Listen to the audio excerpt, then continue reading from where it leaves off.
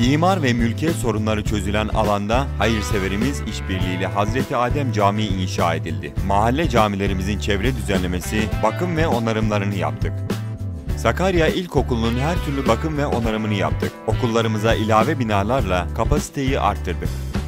Futbol, basketbol ve voleybol sahaları, açık hava spor aletleri ve yürüyüş parkuruyla mahalle sakinlerinin spor yapabileceği modern bir tesis inşa ettik.